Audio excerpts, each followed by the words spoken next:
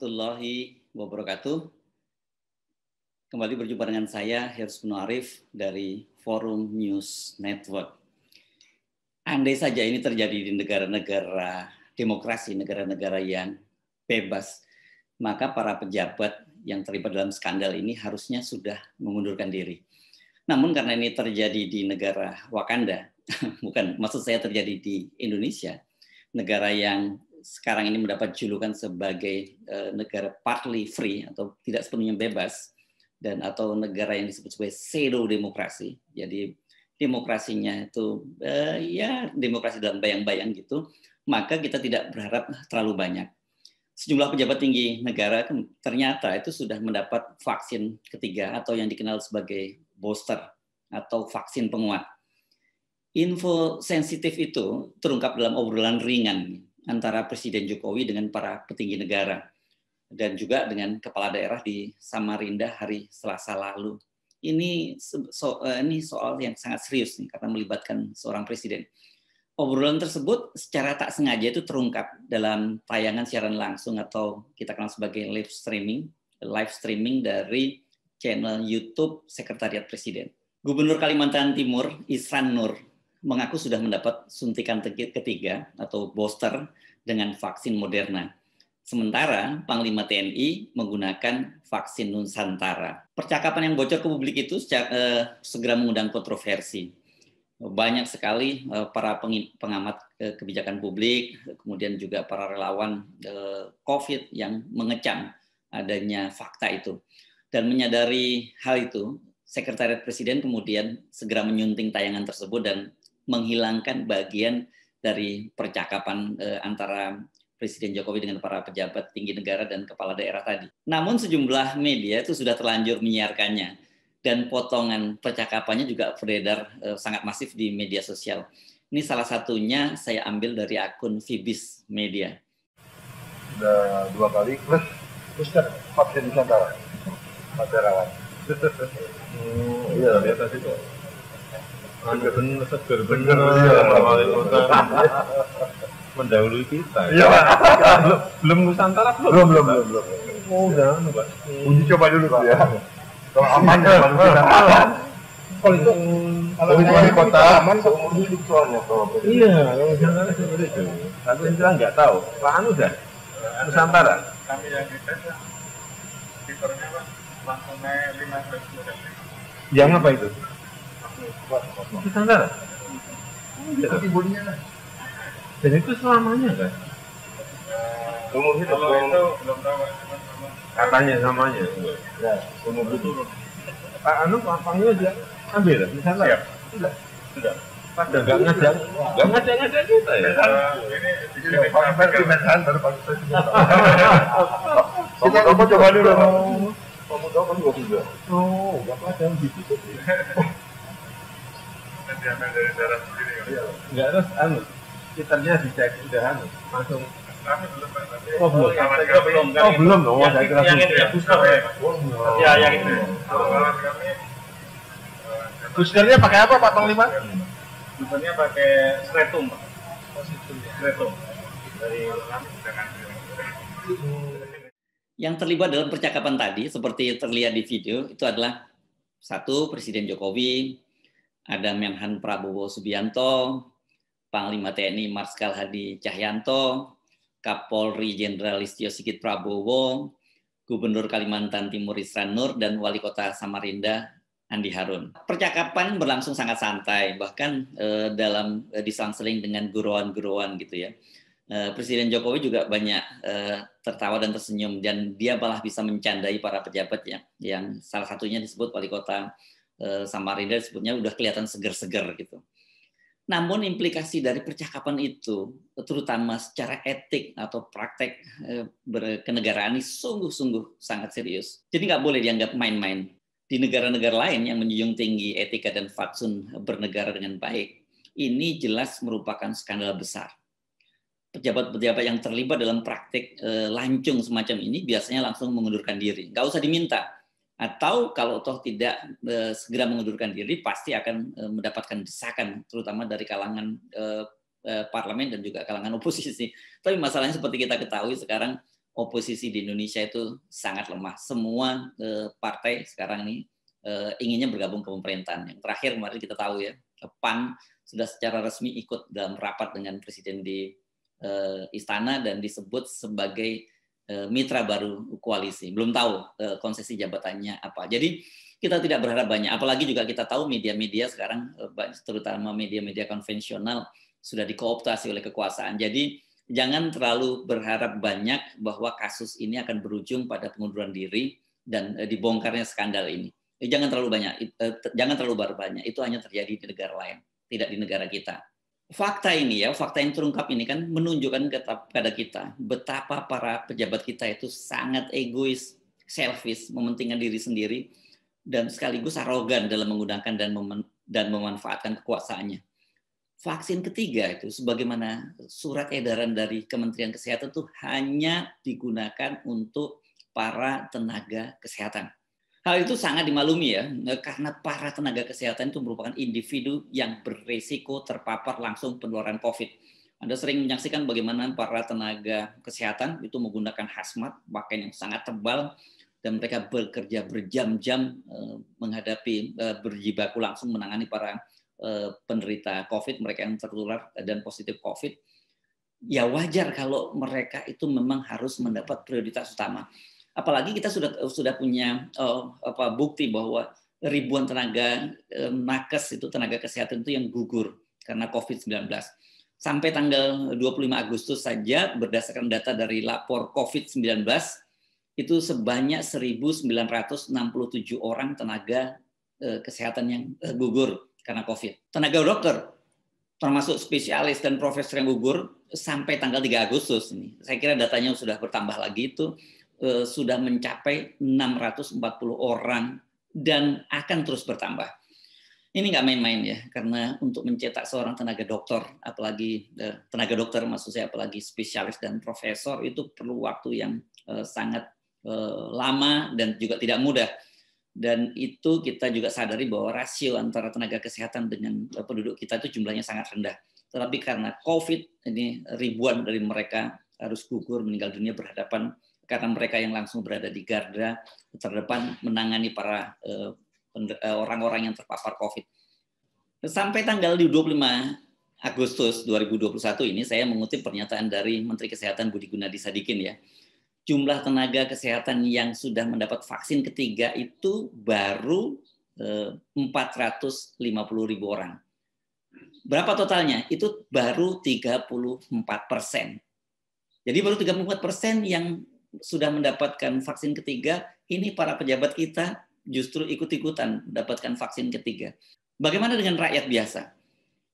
jumlah masyarakat yang sudah divaksinasi dosis kedua itu hingga Jumat ini saya kutip lagi dari data Kementerian Kesehatan eh, baru mencapai 30 juta 753 137 orang atau baru 14,77 persen. Sementara itu jumlah masyarakat yang sudah disuntik vaksin COVID-19 dosis, pertama ya, ini dosis pertama itu juga masih sangat kecil, angkanya sekitar 56 jutaan atau 27,13 persen. Departemen Kesehatan melalui juru bicaranya Dr. Siti Nadia Termizi itu pada hari Senin 23 eh, Agustus. Jadi sehari sebelum pembicaraan Presiden Jokowi dengan para petinggi negara itu menegaskan bahwa vaksin Moderna hanya untuk para tenaga nakes.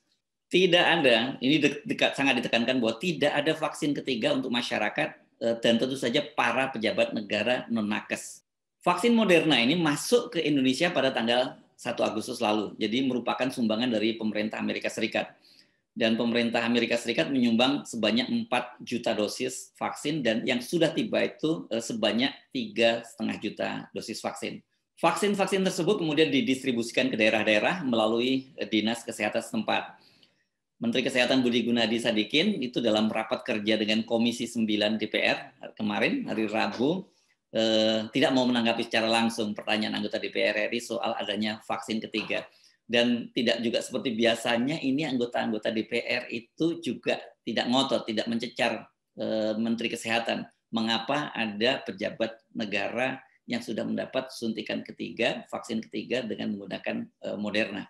Hanya saja kepada wartawan, Departemen Kesehatan kembali menegaskan bahwa vaksin ketiga itu hanya untuk tenaga nakes. Pelaksana tugas Direktur Jenderal uh, uh, Pelaksana tugas Direktur Jenderal Pencegahan dan Pengendalian Penyakit Kementerian Kesehatan, Maxi Rain Rondonuwu, dia mengatakan bahwa Moderna itu sebagai booster hanya di, boleh diberikan kepada para tenaga kesehatan. Jadi menurut Maxi, Kementerian Kesehatan itu sudah mengeluarkan surat edaran eh, soal ini edaran itu kata dia sudah uh, kami sampaikan dan sudah tiga kali dibuat edaran hanya untuk nakes itu kata Maksi kepada wartawan sesuai rapat kerja dengan eh, Komisi 9 kemarin.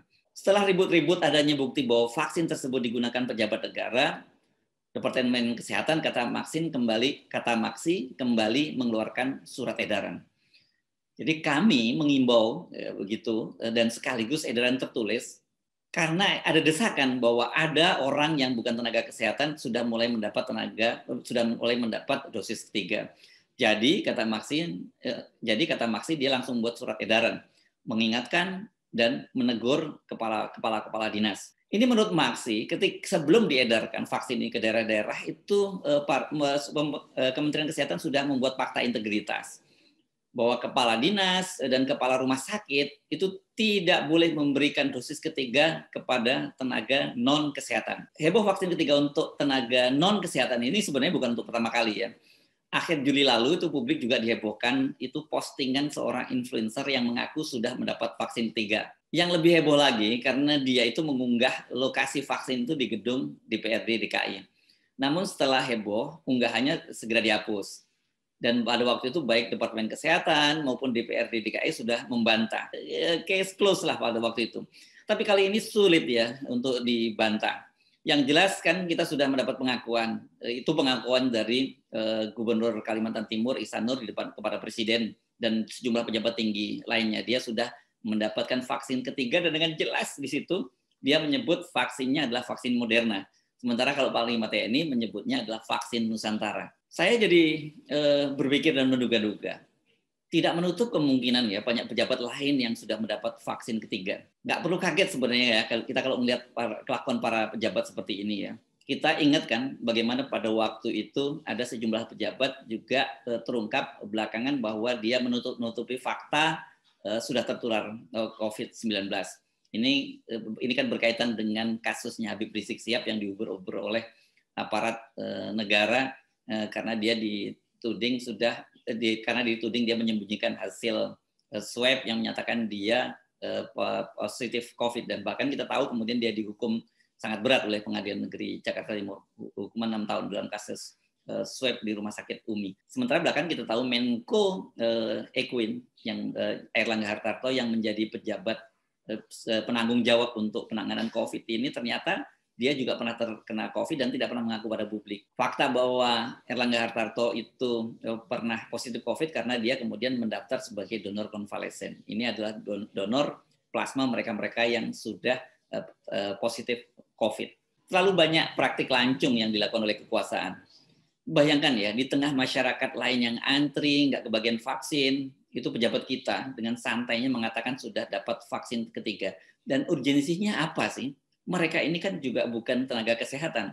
Mereka ini kan bisa diatur protokol kesehatan dengan sangat ketat dan kemudian fasilitas kesehatan dan lain-lain mereka sudah terjamin. Sementara kita masih banyak sekali jutaan rakyat kita yang vaksin pertama saja eh, belum dapat.